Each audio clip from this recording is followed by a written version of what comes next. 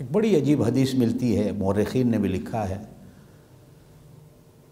कि हज़रत हलीमा रदी अल्लाह तहा बड़ी लंबी उम्र पाई हज़रत हलीमा ने।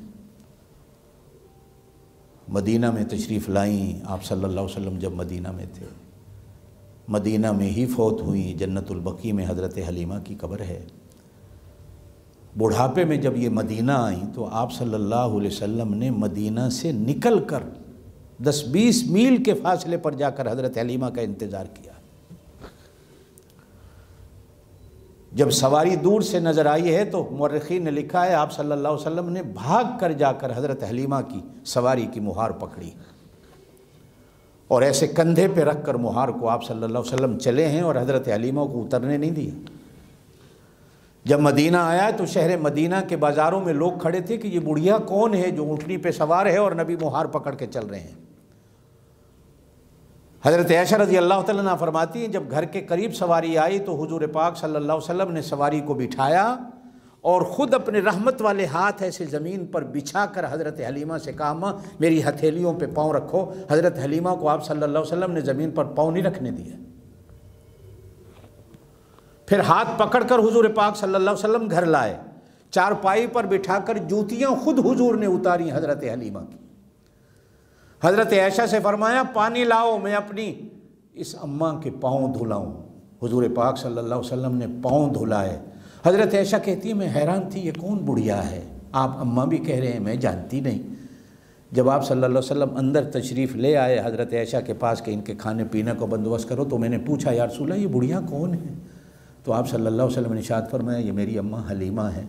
अगरचे इसकी कोख से मैंने जन्म तो नहीं लिया, लेकिन मैंने इसका दूध पिया। इसने उंगली पकड़कर मुझे चलना सिखाया। आज अच्छे खासे दीनदार घरानों में, वो सकीमा जिसकी रहम से हम जन्म लेते हैं, जिसके खून का हम हिस्सा होते हैं,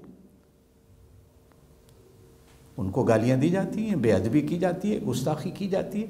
आप सल्लल्लाहु अलैहि वसल्लम ने इशाद फरमाया, माँ का गुस्ताख हज़ार हज़ार नवाफिल का, क्यों न तहजद गुजार हो। अल्लाह के यहाँ उसको जन्नत नहीं मिलेगी जब तक ये अपनी अम्मा को राज़ी नहीं करता। हदीसी हैं। एक सहाबी ने बस आ गए किसी चक्कर में अपनी अम्मा को घर से निकाल दिया बीवी के कहने पे। बीमार हो गए। बिस्तर पे एड़ियाँ रगड़ रहे हैं। जान नहीं निकलती। अब थोड़ा सा सोचिए कि हुजूर सल्लल्लाहु अलैहि वसल्लम ख़ुद उस बंदे की इयादत को तशरीफ़ लाए। ख़ुद। क्या मकाम होगा उस बंदे का जिसके घर में हुजूर पूछने आए होंगे? आपने हाथ उठाया शिफा की दुआ के लिए तो अल्लाह ने जबरील को भेज दिया, मेरे नबी से कहो हाथ नीचे कर लें। मेरा दस्तूर तो यह है कि अपनी नबी की दुआ को रद्द नहीं करता, लेकिन शायद मैं आज तेरी दुआ को भी रद्द कर दूँ, कबूल न करूँ। आप सल्लल्लाहु अलैहि वसल्लम ने जबरील अमीन से पूछा तो जबरील ने बताया ये अम्मा का गुस्ताख है। शायद आपने उलमा से सुना हो तो हुजूर पाक सल्लल्लाहु अलैहि वसल्लम ने फरमाया, लकड़ियाँ जमा करो, आग लगा दो और इस बंदे को उठा के आग में डाल दो। हो सकता है जान निकल जाए, वरना क़यामत तक एड़ियाँ रगड़ता रहेगा, जान नहीं निकलेगी। साहबा कराम ने लकड़ियाँ जमा की, आग लगाई गई। जब उठाने लगे तो माँ की ममता ने जोश मारा, कहा, अल्लाह के रसूल के मेरी आँखों के सामने मेरे बेटे को आग में डाल देंगे? इरशाद फरमाया, फिर इसे माफ़ कर दो। मैंने मैंने माफ़ किया। हदीस में आता है, माँ की ज़ुबान से जुमले निकले फ़ौर उस बंदे की ज़ुबान पर कलमा आया और जान अल्लाह के हवाले हो गए आप सल्लल्लाहु अलैहि वसल्लम ने खुतबा इरशाद फरमाया, उसी जगह पे खड़े होकर। अक्सर मुहदसी ने नोट किया। फरमाया, देख लो, ये मेरा सहाबी है, मेरे पीछे नमाज़ें पढ़ने वाला है। अगर इस बंदे से भी ऐसा गुना हो जाए, जान नहीं निकलती, हमारा क्या होगा? हज़रत शीमा, हज़रत हलीमा की बेटी हैं। पढ़ा होगा तारीख़ में आपने। ये बचपन में हुजूर पाक सल्लल्लाहु अलैहि वसल्लम को गोद में उठाकर लोरियाँ देती थी। बुखारी शरीफ के अंदर भी। वो लोरियों के अशार आज भी अहादीस की किताबों में मौजूद है। हालाँकि वो नबूवत का ज़माना ही नहीं, बचपन का ज़माना है। आप सल्लल्लाहु अलैहि वसल्लम छः साल की उम्र के बाद हज़रत हलीमा के घर से चले गए, फिर इधर आना ही नहीं हुआ, ना उनका ना उनका। नबूवत का ज़माना आ गया। फिर आप सल्लल्लाहु अलैहि वसल्लम हिजरत फरमा कर मदीना तशरीफ़ ले गए। फिर मदीना से आप सल्लल्लाहु अलैहि वसल्लम सन आठ हिजरी में फ़तेह मक्के के लिए तशरीफ़ लाते हैं। मक्का फ़तह होता है। फ़तेह मक्का के बाद गजवा हुनैन और गजवा ताइफ होता है।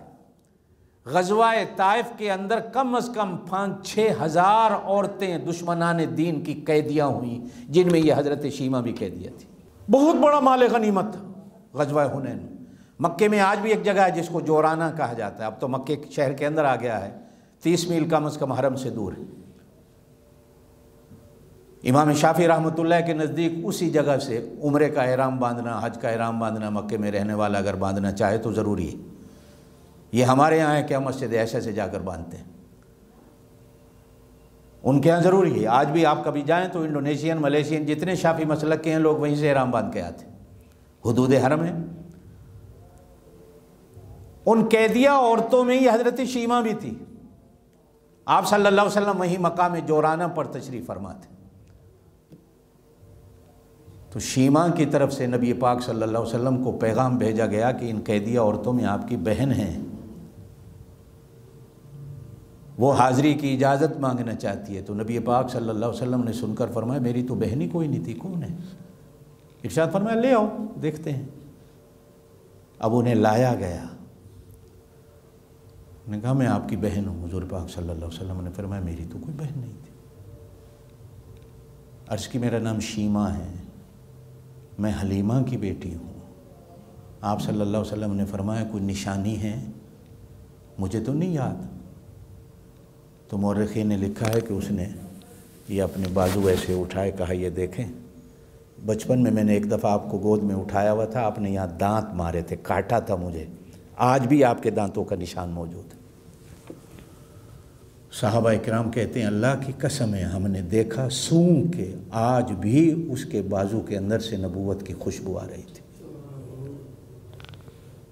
नबी पाक सल्लल्लाहु अलैहि वसल्लम ने अपनी चादर बिछाई कि मेरी बहन बैठ गया हालाँकि ये सकी बहन नहीं है। हज़रत हलीमा की बेटी बैठो। बिठाया। इरशाद फरमाया, बहन के रिश्ते से मेरे साथ चलना चाहती हो तो भाई बनकर तेरे सारे हुकूक अदा करूँगा। और अगर अपने गाँव वापस जाना चाहती हो कबीला बनुसाद में तो ऊँट तैयार हैं, ग़ुलाम भी साथ देता हूँ बाहिफाजत तुम्हें तुम्हारे गाँव तक छोड़ के आएँगे। जो तुम्हारा फ़ैसला वो तुम्हारे भाई को कबूल है। हज़रत शीमा ने अर्ज़ की कि मैं अपने गाँव जाना चाहती हूँ। नबी पाक सल्लल्लाहु अलैहि वसल्लम ने दो ऊँट दिए, ग़ुलाम दिए, साहबा किराम दिए कि जाओ इनको छोड़ाओ। अब वो सामने से कहने लगी, मैं अकेली नहीं हूँ, मेरे साथ छः हज़ार कबीला बनु साद की औरतें कैद हैं। आप सल्लल्लाहु अलैहि वसल्लम ने इशाद फरमाया जो तुम्हारी वजह से मैंने सबको आज़ाद कर दिया।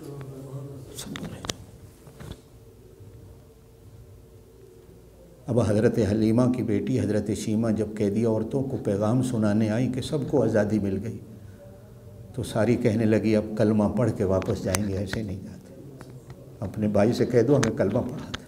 आप सल्लल्लाहु अलैहि वसल्लम ने कलमा पढ़ाया। हज़रत हलीमा को दस, हज़रत शीमा को दस ऊँट दिए, चार ग़ुलाम दिए। दस सहाबा किराम साथ भेजे कि मेरी बहन को घर छोड़ के आओ। ये उस कोक से जन्म लेने वाली बहन नहीं है। ये हज़रत हलीमा की बेटी है। नबी पाक सल्लल्लाहु अलैहि वसल्लम ने उस दाया की बेटी के साथ ये हुसन सलूक फरमाकर, आप और मैं जितने बैठे हैं, क़यामत तक आने वाली उम्मत को सबक दिया है कि बहन का रिश्ता क्या होता। है और मैं कैसे निभा रहा हूँ? हमारी बड़ी बहनें तो हमारे माओ की तरह होती हैं, हमें पालती हैं। लेकिन आज हम बड़े भाई या छोटे भाई ऐसे हैं कि साल हा साल तक बहनों के घरों का चक्कर तक नहीं लगाते। ईद बकरीद पर भी नहीं लगाते, ऐसी नाराज़गियाँ हो गई, मेरे घर शादी हुई तो बहन ने बच्चों को रोक दिया, बहन के घर शादी हुई तो मैंने बच्चों को रोक दिया, नहीं जाना, हमारी उनसे लड़ाई है। अब लड़ाई क्या है? फला दिन इनके घर में दावत थी, शादी थी, हमें कार्ड नहीं भेजा। दूसरों को भेजा, हमें कार्ड नहीं आया। ये भी एक लड़ाई की वजह है। दावत पे बुलाया, उनको खाना पहले दिया, हमें बाद में पूछा। ये भी एक लड़ाई की वजह है। उनको खाना अच्छा दिया, हमें जो बचा हुआ था वो दे दिया, ये भी लड़ाई की वजह है। चौथी वजह, बच्चे आपस में लड़ पड़े। इन्होंने अपने बच्चों को कुछ नहीं कहा। ये वजह जो है, वो बाद में आती है कि हमारी दो इंच ज़मीन थी, वो ले गए। हमें हक नहीं मिला। ये लड़ाइयाँ बाद में आती हैं। पहले तो ये छोटे छोटे ऐसे मामलात हैं जो आज हमने एक दूसरे पर घर के दरवाजे बंद कर दिए हैं। वीडियो के नीचे सब्सक्राइब के बटन पर क्लिक करें, बेल के आइकॉन पर क्लिक कीजिए ताकि हर नई वीडियो की नोटिफिकेशन आपको मिल जाए।